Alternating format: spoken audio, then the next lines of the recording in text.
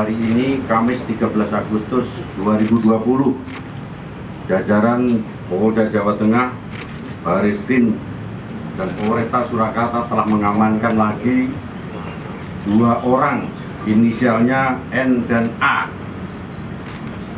Jadi kita amankan dua orang, kemudian semuanya jumlahnya menjadi tujuh orang. Kemarin lima, sekarang dua yang bisa kita tingkatkan lagi menjadi tersangka satu sehingga lima sudah menjadi tersangka. Yang dua kita dalami kembali. Kemudian saksi sudah kita periksa 35 orang saksi dari masyarakat yang melihat, mendengar dan lain sebagainya. Saya sampaikan kepada saudara sekalian bahwa negara tidak boleh kalah oleh kelompok intoleran, radikal atau premanisme. Oleh karena itu, saya himbau untuk segera menyerahkan diri atau kita tangkap. Saya ulangi, negara tidak boleh kalah oleh intoleransi, oleh radikalisme, dan premanisme yang terjadi di wilayah hukum Polda Jawa Tengah.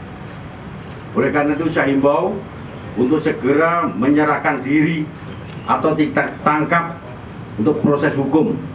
Langit runtuh, hukum akan kita tegakkan di wilayah jurisdiksi Polda Jawa Tengah. Kemudian kepada eh, khususnya masyarakat yang nantinya barangkali mempunyai informasi yang sangat berharga untuk kita, segera sampaikan bahwa ini sampai kapan pun akan kita langsung laksanakan penegakan hukum terkait dengan potensi konflik yang terjadi di wilayah Pasar Kliwon. N dan A perannya apa dan untuk yang Perannya masih didalami oleh penyidik, asalnya dan asalnya masih di wilayah seputaran Pasar Kliwon. Satu tersangka berarti dari yang kemarin atau dua baru? Dua baru, yang satu kemarin sudah kita tingkatkan jadi tersangka.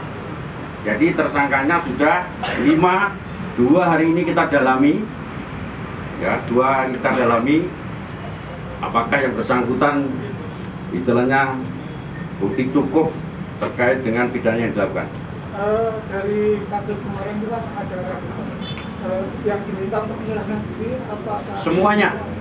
Jadi azas kita adalah equality before the law, tidak pandang bulu, sama di muka hukum, tidak peduli itu kelompok tertentu, kelompok radikal, kelompok intoleran, ada akan kita lakukan. batas waktu untuk sisi penyerahan diri bagi mereka? Tidak ada batas waktu, secepatnya.